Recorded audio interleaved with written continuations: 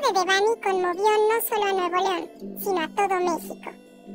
A un mes de que la joven fuera encontrada al interior de una cisterna del motel Nueva Castilla en el municipio de Escobedo, surgen más preguntas que respuestas.